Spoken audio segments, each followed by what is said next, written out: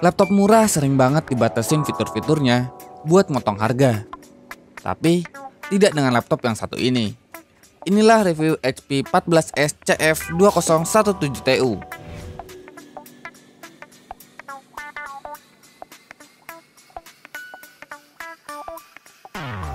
HP 14S CF2017 TU Sebuah laptop murah yang fiturnya cukup mantep di harganya Ukuran laptop ini 32,4 kali 22,59 kali 1,99 cm dengan berat 1,47 kg. Gak begitu tebal dan cenderung ringan. Bezel bagian layarnya juga sudah cukup tipis dan kekinian. Webcamnya masih ada webcam yang standar 720p. Desainnya ini memang standar desain laptop HP. Gak ada yang spesial. Tapi bukan berarti jelek juga. Touchpad, keyboard, speaker terasa mantep untuk laptop budget. Tak lupa juga Keyboardnya sudah ada backlightnya, walau hanya bisa setting nyala atau mati saja.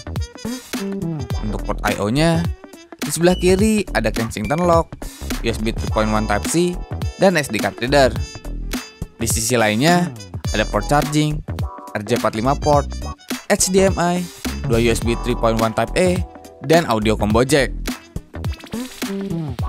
Laptop ini sendiri memiliki spesifikasi Intel Celeron N4020 2 core 4 thread beserta RAM 4 GB DDR4 2400 MHz hanya ada satu slot saja.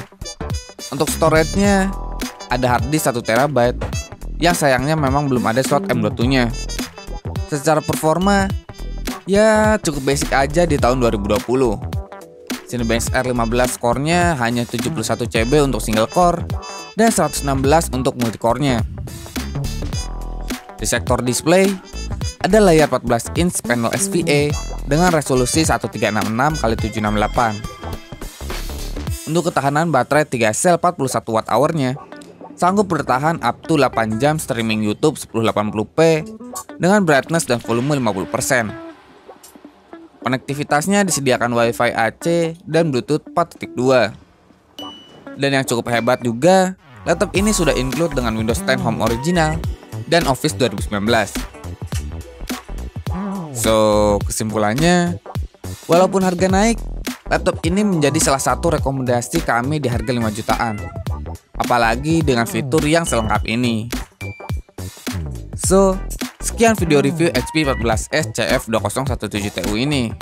Kamu bisa beli laptop ini di Kings Computer dengan datang langsung ke toko maupun melalui sosial media dan marketplace kami. Link dan alamat toko ada di deskripsi.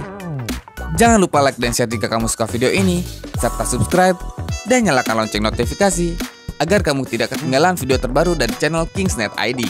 Sampai jumpa di video berikutnya.